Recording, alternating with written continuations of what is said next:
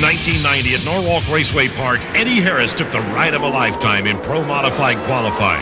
Harris jumps to an early lead on opponent Killer Brooks. Eddie's car makes a sharp turn to the left into Killer's lane and plows into the guardrail, causing his car to roll over repeatedly. Killer barely escaped with an experienced maneuver into the opposite lane. Get to the top end of the racetrack. We saw some smoke coming from Eddie Harris. I can't tell you what happened to Cleveland. Yet, they're what they are hired and trained to do, and that think quick in uh, situations like this. The trying to come forward, and uh, instead of Eddie Harris, and this uh, look, I believe, still look.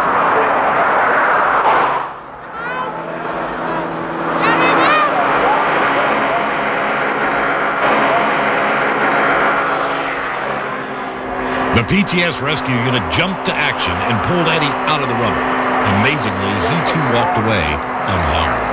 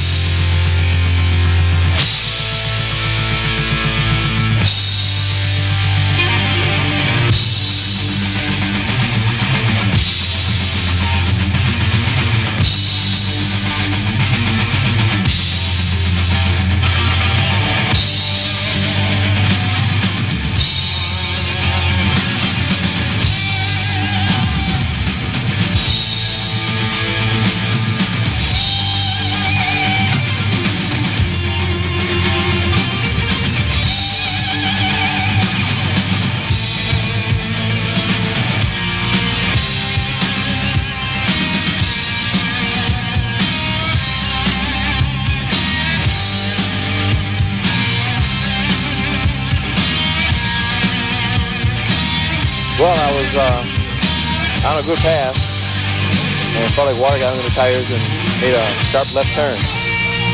Hit the guardrail and just started tumbling. I was aware of everything and just slid on the roof.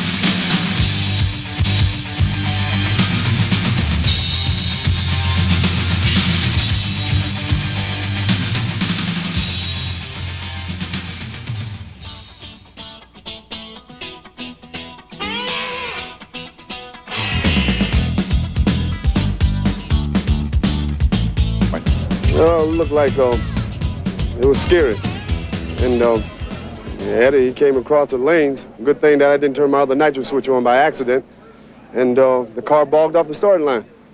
All the time I was trying to recover and reach for the switch so I could still get low qualifier like I had all week long. And uh, thank God it didn't. And I, he was there. So I just had flashbacks from the last accident I had. I said, this time I'm gonna cross lane. I'm not gonna stay in this lane and hit the brakes. And I crossed lane. Thank God I got, got through.